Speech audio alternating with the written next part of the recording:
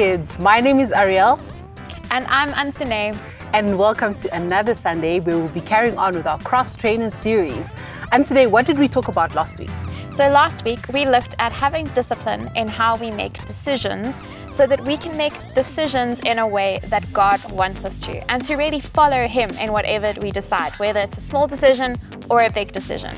And this week, we're going to be talking about service. So not service like you get at a restaurant or service like when you serve a like table tennis ball or something. No. We'll see exactly what service means as we read it in the Bible in a while. But first, Ariel, what time is it now? One of my favorite times. It's time to play a game. In this episode, this day, we'll be playing a game called Indoor Scavenger Hunt Riddles. That's a mouthful, but what it is, is we're going to give you a few clues and you're going to be looking around your house to figure out what exactly we're talking about. So let's get into the game. Yes, and if you know the answer, we want you to shout it out loud to everyone sitting around you, or maybe see if you can run really fast to go and get these items. Yeah, okay, that'll so be fun. I'll read the first clue and then we carry on from there. All right, first clue. Here it is, the riddle. I willingly lay on the floor. I welcome you at the door. What am I? Mm. Okay, what's the next one, Lays Ariel? on the floor. Okay. next one. For the movie, you shall pop some corn. Mmm, yummy. When it's ready, the buzzer will warn. Oh, I think I know what that is. Mm. Do you know, guys? All right. Here is riddle number three. This flat box houses color and sound. In the living room, it can be found. Hmm. Hmm. It's a good one. I like that one. Okay, number four. I will keep your books safe in a pack. Zip me up before slinging me on your back. What am I? Oh. All right, and our last riddle. Are you ready? Are you ready, Ariel? I'm ready. Okay, here it goes. You have one, probably more, each with a knob and even a lock. Hmm. When company comes, you will hear a knock, knock, knock. What is it? All right, we hope that you got all of them right. And now we're going to move into another time of fun, but also a time of praise. So we want you to sit or stand however you feel comfortable. You can sing out loud, or you can just sing the words quietly in your heart as we sing together to praise God, tell Him how awesome He is in this next song. In my doubt.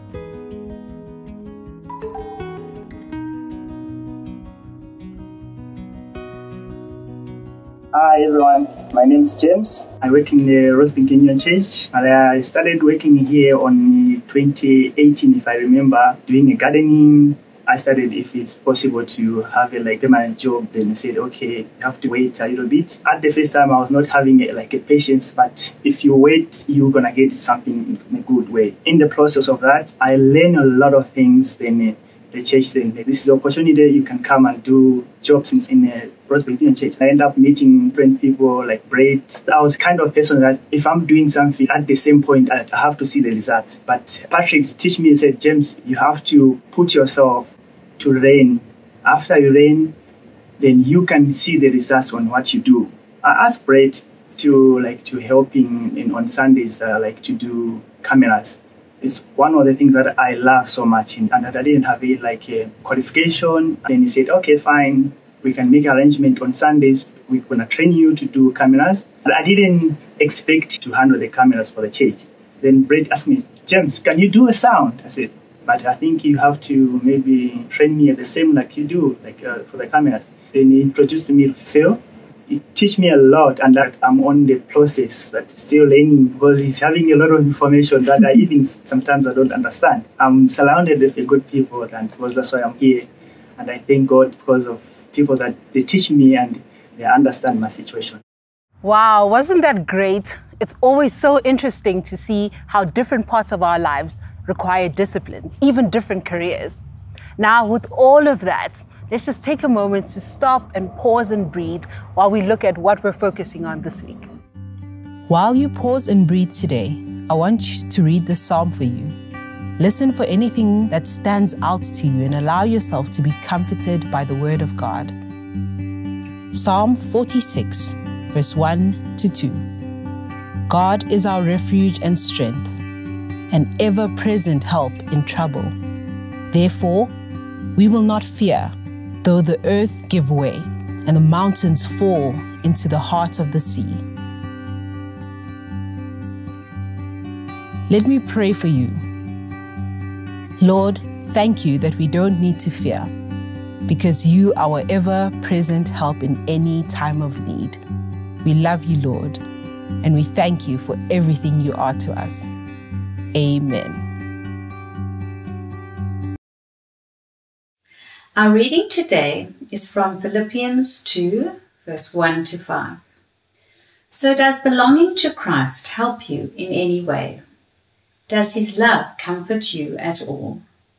Do you share anything in common because of the Holy Spirit? Has Christ ever been gentle and loving towards you? If any of these things have happened to you, then agree with one another. Have the same love. Be one in spirit, and in, in this way, the way you think and act. By doing this, you will make my joy complete. Don't do anything to only get ahead. Don't do it because you are proud. Instead, be humble. Value others more than yourselves. None of you should look out just for your own good. Each of you should also look out for the good of others. As you deal with one another, you should think and act as Jesus did. Alrighty, good morning, cross trainers. I'm so glad you're here this morning. I hope you've got your shirts, your exercise shirts, your shoes. If you've got a smartwatch, you can start that because we're here to cross train. All right, let's get that heart rate up. Let's go, let's go. Come on, people, stand up, let's go. Uh, yeah, Anthony? Not cross trainers like exercise. Oh, cross trainers as in Bible cross train. Oh my word. Okay, um, hang on. I, I brought that stuff as well. It's okay. We'll start again. Whew, oh, okay, thank goodness I brought all this stuff with me. So I've got my Bible, I've got my message, so we're ready for that as well. Um, so thank you so much for joining us, guys. Um, if you were about to exercise, that's awesome. I do love exercise as well. That's a sneak peek about me. But if you don't know me, my name is Brett France. I'm on staff here. I'm, I'm the next gen pastor. I started as that role in January, and I absolutely love working at Rosebank Union Church. And I'm so thankful that you've decided to watch church with us this morning. Uh, or maybe you're watching this a little bit later in the afternoon, whenever you're watching this. I'm so glad you are here, our little cross trainers, not exercise cross trainers, but cross trainers because we train with Jesus. And so we are looking at uh, a whole lot of rules about how we can live our lives in a way that glorifies Jesus, a rule of life. And so today we're going to be looking at service. How can we live a life like Jesus in the way he served us. And now I don't know about you guys, but service for me is often a, a, hard thing. And what does that even mean? Is it like when you go to a church service or maybe a, your school service or something that's going on like that? No, this is a completely different kind of service. Service is when you do something for someone else for absolutely nothing back when you serve someone. And so we're going to look at the way Jesus served us. He did stuff for us, wanting nothing in return other than our love and worship of Him. And we're going to try to understand what that means to live a life of service towards others. And so we're gonna hear. I'm gonna tell you guys a, little, a couple of stories, which I think are quite cool and fascinating. And then from there, um, we're gonna look at uh, some Bible verses that help us understand what it means to have the mind of Christ, which means to think like Jesus thinks. Um, and then from there, I hopefully will give you some practical examples of how you can serve and love those around you. So the first story I want to tell you guys is about a a young boy um, who was at school. He was in grade eight. So I think some of you guys, uh, you are, you know, you're not in high school yet, but I know you're really excited for that day that you do get to high school. And so grade eight is when you're like the the youngest person in the schools. You have those grade 12s or, matri- or matrics who are, you know, the, the big guys. They're the prefects, uh, the big boys and girls. And um, I remember coming in and being a grade eight and just looking up at these big adults and thinking, oh my word, I can't believe I'm in big school. And so this story is about a grade eight boy. Um, and now he was in a school uh, where the matrics, the grade, the grade 12s, were writing an exam. And so what happened with this this um, this young boy was he was walking um, through the halls and there was a quad and like an open area outside one of the big halls, and the the grade 12s were writing a three hour exam. Imagine that, a three-hour exam. I'm so glad I don't have to write exams anymore. And anyway, these, these, uh, these grade 12s were writing the exam, and when they arrived for the exam, the weather was beautiful. It was a sunny Joburg day. It was beautiful. And so they put their school bags down outside in the quad, um, went through into the, into the hall, sat down, and started this three-hour exam. Now, as many of you know in Joburg, rain can come out of nowhere out of literally one second it's beautiful and sunny next thing there's this big storm clouds rolling in and that's exactly what happened these matrics these grade 12s were writing this exam and out of nowhere the sun uh, the rain came and started raining on their bags in the quad outside all their stuff was getting wet and um, the and they couldn't leave. They were writing an exam. They couldn't just get up the hall and say, um, "Excuse me, ma'am, um, I just need to go fetch my bag." No, no, no. You're writing an exam. You have to be quiet, and that's all you can do. And so what happened was uh, they were writing an exam, and this grade eight boy was just walking along, you know, minding his own business, thinking, "Man, it is so cool to be in big school." When he saw the rain and the people's bags in the quad, and he thought, "Oh no, their bags are getting wet. I, I have to help." And there was no one else around, it was just him. And so he ran and he started picking up the bags and moving them under shelter into the hallway. Um, and he, what he didn't know though was a, as he was finishing moving all these matrics, uh, the grade 12's bags under the, the, the, into the hallway out of the rain, a, a housemaster actually saw this boy doing that. Uh, he didn't know the housemaster was there. He was just doing it because he thought, shame, these poor matrics, their bags are getting soaked. I better do the right thing and love and serve them by moving their bags.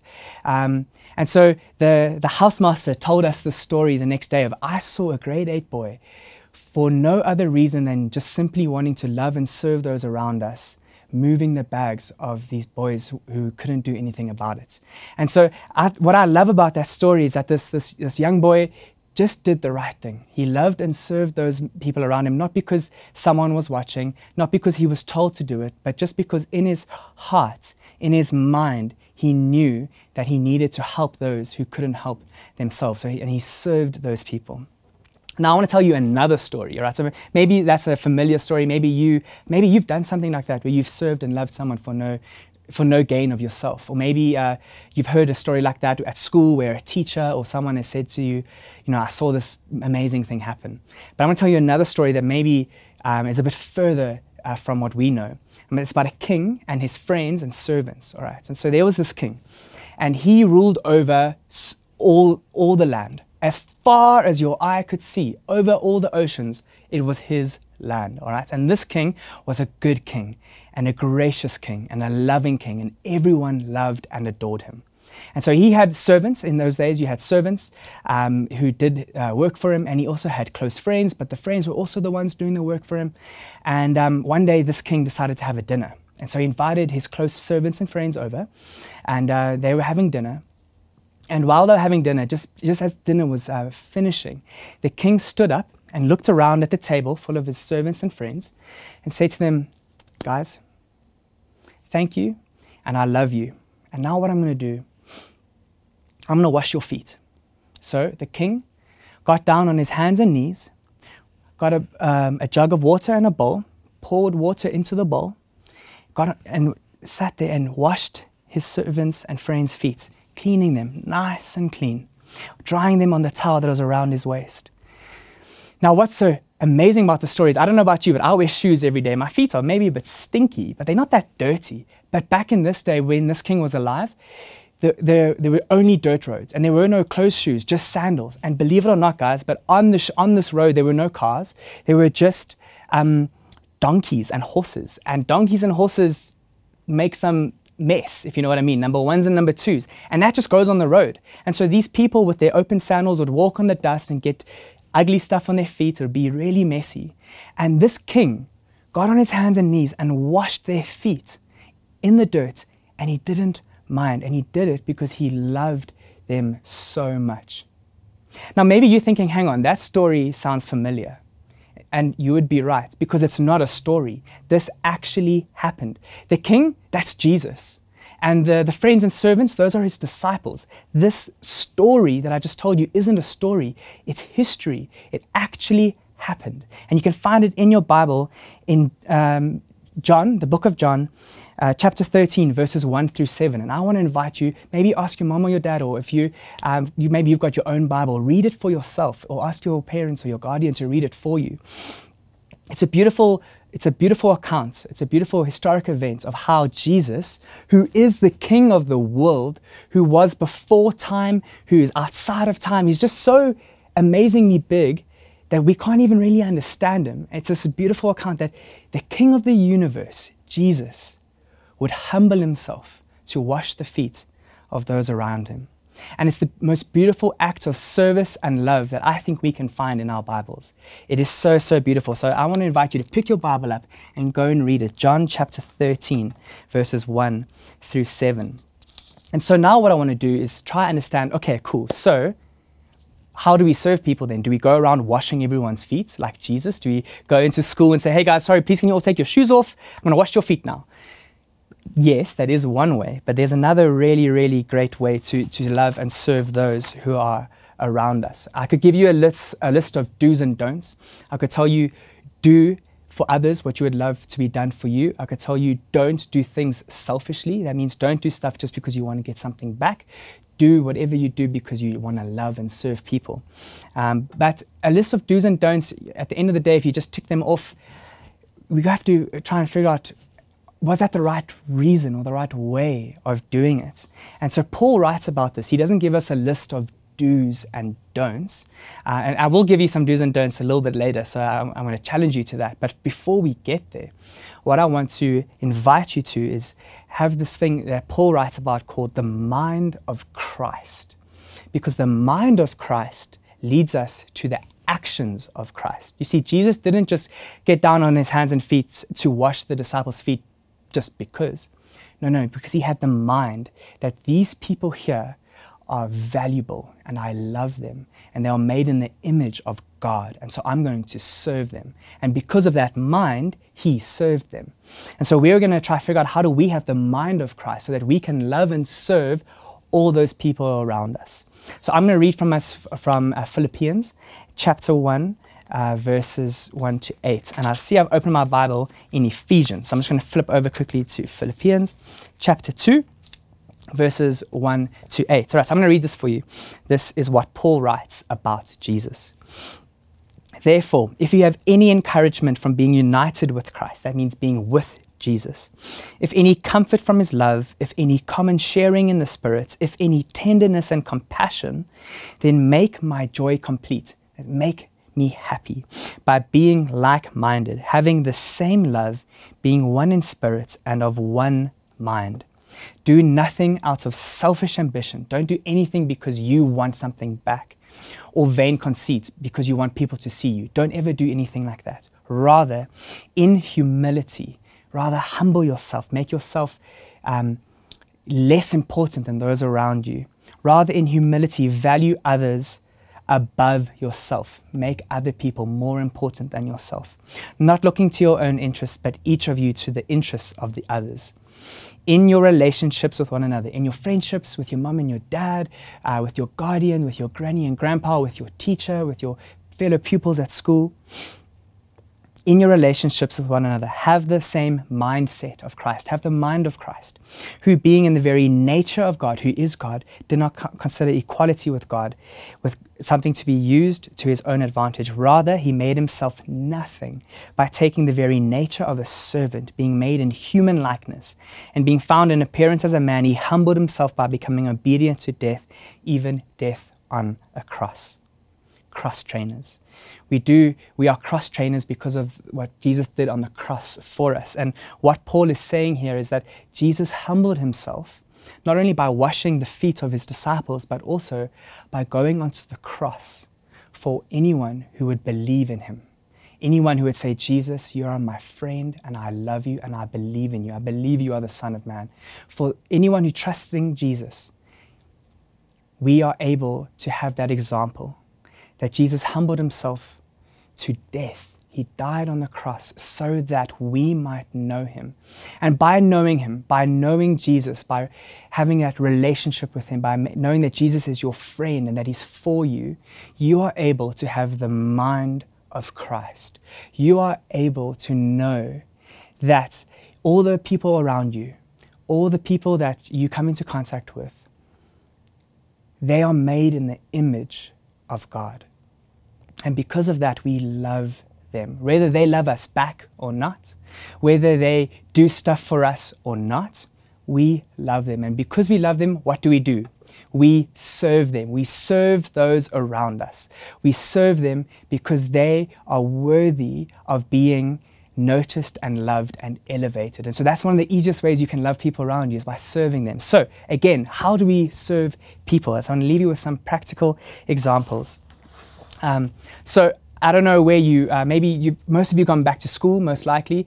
Thank goodness most lessons aren't happening on Zoom anymore or whatever platform you guys were using. I'm so glad that your computer screen has turned into people, which is a great chance because you get to serve and love people now.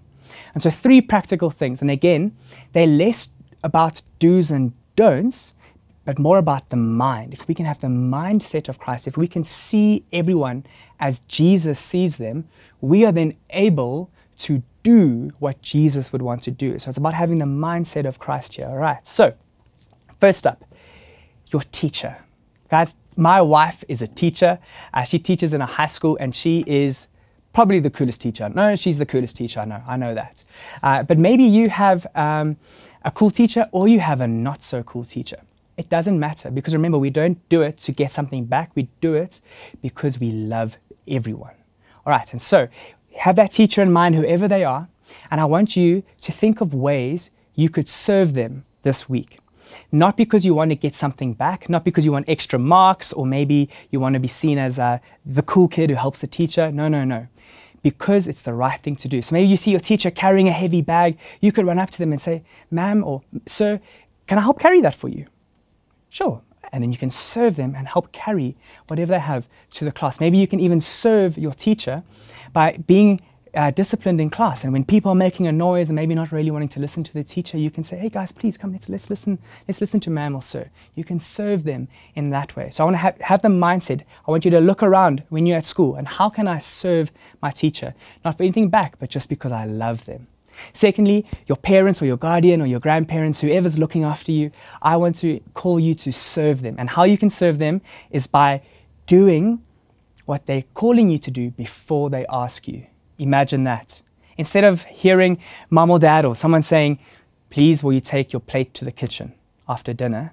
Just do it. Just stand up and say, I love my parents. They, get, they are just so good to me and I want to serve them. And so you take your plate to the kitchen before they even ask. And you don't just dump it next to the sink. You put the leftovers in the bin, or maybe the leftovers go into the fridge. You put the scraps into the bin or wherever they go. And uh, you put the, the, the, the dish into the sink or the dishwasher, or maybe even clean the dish yourself. Imagine that. Not because you want your parents to give you more pocket money or you want them to love you more because they love you already so much. Not for that, but because you want to love and serve them. So think, how around the house can I serve my parents best? And then lastly, your friends. When at school or at someone's house or somewhere, when you're with your friends, how can you serve your friends? And uh, how I thought about this was maybe sometimes someone comes to school with not enough lunch or they're still a bit hungry. You can serve them by giving them some of your food. I remember when I was at school, we used to do a swap one for one. And so I would have an apple and my friend would have a packet of chips. And I would say, hey man, can, I'll swap you my apple for your packet of chips. And obviously he said no, he doesn't want an apple, he wants his packet of chips. And so it was about swapping and exchanging. But what I'm talking about here is not even swapping or exchanging, just seeing someone who has need and you can serve them by giving them your apple or your packet of chips or half your, uh, your sandwich. Or you see someone who has a real need, you can serve them by meeting that need. Again, not because you want something back, but because you love them. So have the mind of Christ, have the eyes of Christ looking around and seeing how you can love and serve people around you. So that's, that's what I wanted to leave you with, a little cross trainers. Thank you so much for listening to me. I'm going to pray for us now that we can do some of these things because we have the mind of Christ. All right, let me pray for us. Ah, oh, Jesus, we are just so, so grateful and thankful that you loved us so much that you would serve us by dying on the cross. And I pray now that as we go out into the week as cross trainers, you would help us train in the way of having your mind, Jesus, in seeing people around us with your eyes and loving and serving them wherever we can. Help us with our teachers, with our guardians, parents, grandparents, and with our friends. Help us to see them as you see them, with love and compassion, and serve them, making them more significant than ourselves. We love you, Jesus, and we pray this in your name. Amen. Thank you so much for being with us again, kids. We will see you next week when we carry on with our Cross Trainer series. Until then, have a great week and we'll see you then. Bye. Bye.